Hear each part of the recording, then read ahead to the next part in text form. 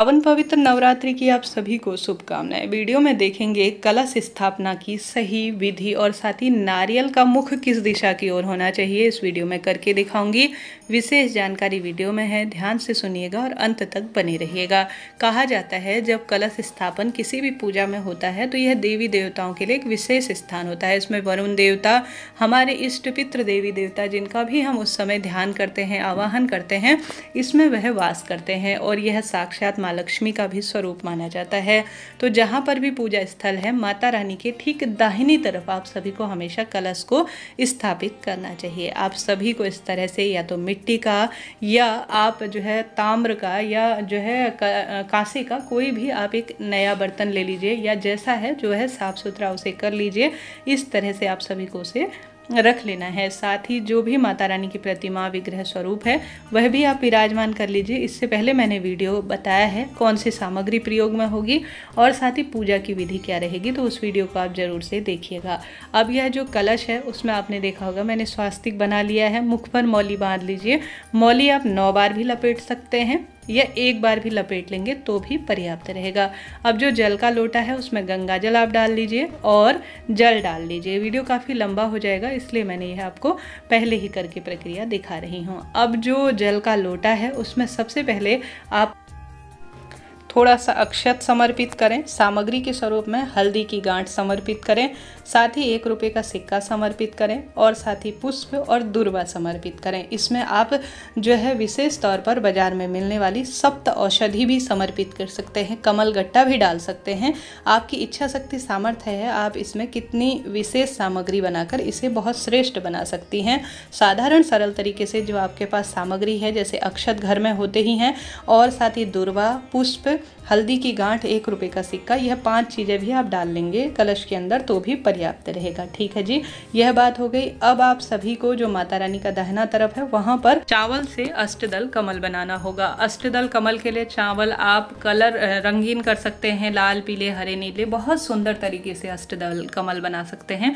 साधारण तरीके से इस तरह से आप माता रानी के दाहिनी तरफ़ पूर्ण चावल जो अक्षत स्वरूप में आते हैं, वह इस तरह से रखेंगे। अपने हाथों की मदद से ज़्यादा बड़ा या छोटा जैसा भी आप बनाते हैं, उस स्वरूप में आप यहाँ पर अष्टदल कमल बना लेंगे। आठ लाइनें खींचेंगे जो कि अष्टदल कमल की होती हैं और एक पुष्प के स्वरूप में, अर्थात कमल जो है अष्टदल कमल स्वरूप में इसे देने का प्रयत्न करेंगे।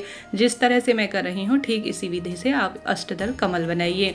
इसके ऊपर आप कलश को रख दीजिए, ठीक है जी? अब कई भक्तजन यहाँ पर क्या करते हैं, जो ज्वारे बोते हैं ना, जैसे ज्वारे आप देख पा रहे हैं इसका अलग से वीडियो है, शूट किया था तो मैंने यहाँ पर ही रखा हुआ है। तो एक कलर जो आपने ज्वारे का बर्तन लिया है, उसके ऊपर ही कई भक्तजन कलश रख देते हैं। वैसे भी आप कर सकते हैं, ज्वारे अलग से भी रख सकते हैं और कलश भी अलग रख सकते हैं। अर्थात माता रानी के दाहिने तरफ़ कलश और बाई तरफ़ आप ज्वारे रख सकते हैं, इच्छा आपकी है। तो कलश इस तरह से आप सभी को इसके ऊपर रखना होगा। अब कलश के ऊपर आपको रखना है पाँच पल्लव। आम के पल्लव रख सकते हैं। पाँच, सात, ग्यारह, इक्कीस, जितनी आपकी संख्या है। आम के पत्ते थोड़ा जल्दी मुरझा जाते हैं तो आम का कम ही चुनाव करें। अशोक के टाइट पत्ते अगर आप लेते हैं, वह जल्दी मुरझाते नहीं हैं और नौ दिन तक हरे भरे बने रहते हैं। तो आम अशोक या अन्य जो है, जो शुद्ध पत्ते बताए गए हैं आम अशोक के अलावा, वह आप ले लीजिएगा। ठीक है जी, यह आपने ले लिए। अब इनमें जो आप सभी विशेष तौर पर चंदन और हल्दी या कुमकुम की तिलक स्वरूप लगाइएगा। बहुत सुंदर इसका वर्णन मिलता है। इसके साथ ही आप कलश के अंदर इन्हें रख लेंगे तो उसके बाद आप सभी को क्या करना है, इसके ऊपर एक पूर्ण पात्र रखना है, जिसे अक्षत रूप में रख सकते हैं, गेहूँ रख सकते हैं। कुल मिलाकर उसमें अनाज रखने होते हैं। एक प्लेट, एक कटोरी आप ले लीजिए। उसमें आप सब धान्य भी सप्त रख सकते हैं। इच्छा आपकी है, कोई भी आपको अनाज लेना है और कलश के ऊपर आपको इस तरह से रख देना है। अब इस पूजा में विशेष तौर पर श्रीफल का ही प्रयोग होता है। एक दिन की जो छोटी सी पूजा होती है, उसमें दीप कलश लगाया जाता है, अर्थात दीपक प्रज्वलित किया जाता है कलश में। अगर बहुत बड़ी पूजा होती है, लंबी पूजा होती है, नौ दस दिनों की, बहुत विशेष अनुष्ठान होता है तो उसमें श्रीफल रखा जाता है। तो आप सभी यहाँ पर श्रीफल रखेंगे। अब श्रीफल रखने की भी एक प्रक्रिया है। सबसे पहले जो नारियल है, अर्थात जो श्रीफल है, उसे आप बाज़ार से लाएँ, जटा वाला नारियल लाएँ और उसमें सबसे पहले आप स्वास्तिक बना लें। हल्दी और कुमकुम का स्वास्तिक बना लें, उसमें अक्षत समर्पित करें। उसके ऊपर आप सभी या तो वस्त्र लपेट सकते हैं या आप चुनरी लपेट सकते हैं। वह आप प्रक्रिया करें। उसके बाद आप सभी विशेष तौर पर, जैसा इस स्क्रीन पर आप देख पा रहे हैं, नारियल को रखने के दो तरीके बताए गए हैं शास्त्रों में। एक तो जो नारियल है, वह खड़ा रखा जाता है, अर्थात जो नारियल का मुख है, वह ऊपर की ओर रखा जाता है, जैसे मैंने स्क्रीन पर दिखाया है। इस तरह से ऊपर की ओर रखा जाता है। कई भक्तजन जो है ठीक सामने की ओर रखते हैं। नारियल का जो मुख होता है, वह सामने की ओर रखा जाता है। तो आप जो है, कभी भी यह गलती ना करें कि जो नारियल का पूंछ वाला हिस्सा है, अर्थात जो नुकीला सा हिस्सा होता है, वह सामने की ओर नहीं रखना, उसे आप सभी पीछे की ओर रखें। थोड़ा सा चपटा सा हिस्सा आता है, उसे आप सभी जो है, विशेष तौर पर अपनी ओर रखें। कई लोग नारियल को ऊपर की तरफ़ भी रखते हैं, नुकीला हिस्सा तो वह भी सही प्रक्रिया है, उसे भी गलत नहीं कहा जा सकता।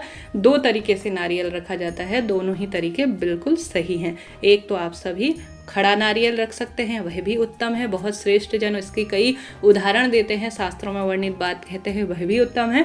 अपनी तरफ़ नारियल का मुख आपकी ओर होना चाहिए, वह भी आप सभी रख सकते हैं, वह भी श्रेष्ठ प्रक्रिया कही गई है। तो दो नियम है, कलश में नारियल रखने के, वह आप रखिएगा। अब कलश का नारियल नौ दिन तक इसी प्रकार से आपको रखना है और इसमें जो है अच्छे पत्ते आप रखेंगे, जैसे मैंने शुरू में ही बताया, टाइट पत्ते रखेंगे तो वह कभी सूखेंगे नहीं। तो इस तरह से आप सभी को नवरात्रि में नौ दिनों तक यह प्रक्रिया अपनानी है कि अच्छे कड़क पत्ते, थोड़ा सा टाइट, करले पत्ते वह रखने हैं ताकि यह बहुत हरे भरे रहें। तो इस तरह से नौ दिनों में यह सुंदर प्रक्रिया मानी जाती है, कलश स्थापना की, और इसके बहुत अच्छे परिणाम मिलते हैं। भले ही आप खेतरी ज्वारे बोए या ना बोए, अखंड दीप लगा पाए या नहीं लगा पाए, कोई दिक्कत नहीं, परंतु आपको कोशिश करनी चाहिए कि आप कलश स्थापन ज़रूर से कर पाएँ। इसके बहुत सुखद परिणाम देखने में मिलते हैं। अब कलश स्थापन के बाद जब नवा, दसवा दिन हो जाए तो कभी भी नारियल को महिलाएँ नहीं तोड़ती हैं। पुरुष जनों से इसे तोड़वा सकते हैं। कई कई भक्तजन, यह जो नारियल होता है, जो ऊपर रखा हुआ होता है कलश के, इसे कभी तोड़ते ही नहीं हैं। इसे अपने घर की तिजोरी में या व्यापार स्थल पर या घर के दरवाजे इत्यादि पर रखना भी सुंदर फलों की प्राप्ति में सहायक होता है। यह भी तरीका सही है, परंतु कई भक्तजन इसे हवन की छोटी सी प्रक्रिया में काम में लेते हैं, कन्याओं को वितरित करते हैं, प्रसाद स्वरूप वितरित करते हैं तो यह भी उत्तम प्रक्रिया है। तो दोनों तरीकों में से कोई एक तरीका सुनकर आप जो है पूर्ण रूप से नौ दिनों की पूजा को अपने संपन्न कीजिएगा।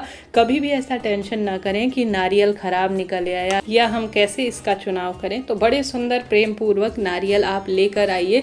कई भक्तजन यहाँ पर गोला भी रखते हैं तो वह भी रख सकते हैं, कोई दिक्कत नहीं। जैसा है भगवान द्वारा दिया गया है, उसे समर्पित करें। कई बार यह नारियल खराब निकल आता है, चटक जाता है कई बार तो भी टेंशन और चिंता की कोई बात नहीं है। नारियल का चटकना, खराब निकलना, यह बहुत शुभता के रूप में जाना जाता है। इसका अर्थ है कि भगवान जी आपकी पूजा स्वीकार कर चुके हैं। कोई चिंता, टेंशन की बात नहीं। इस तरह से आप कलश स्थापन करें और यह सामग्री डालें। इस तरह से अपनी पूजा को संपन्न करें।